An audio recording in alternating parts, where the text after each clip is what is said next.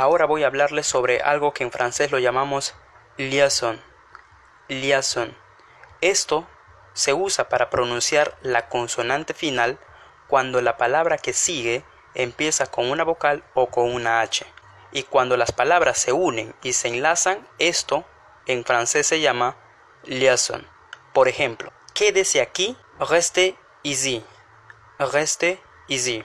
Vemos acá que la última letra de la palabra quédese termina en Z, es una consonante.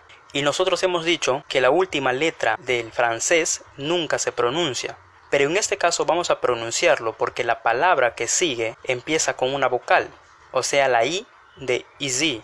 A estas dos letras los unimos y decimos reste ici. Aquí estamos haciendo ya el liaison. Parlons ensemble. Utilizando el liaison, parlons ensemble. Y así tenemos más ejemplos. Pas ici, pas encore, avec un, quédate al costado. Reste à côté de.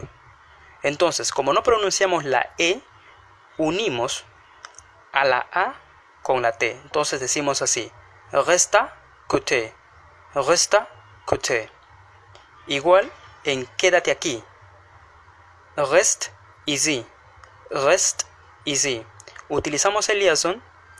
Reste ici. Reste ici. Anne lui. Anne lui. Anne o lui. Anne lui. Anne lui. Muy bien amigos, entonces esto se lo conoce como el liaison.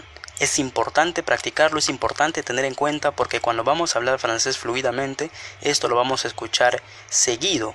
Entonces, si nosotros no practicamos, si no somos conscientes de la existencia de los enlaces de las letras, de las vocales, vamos a estar perdidos.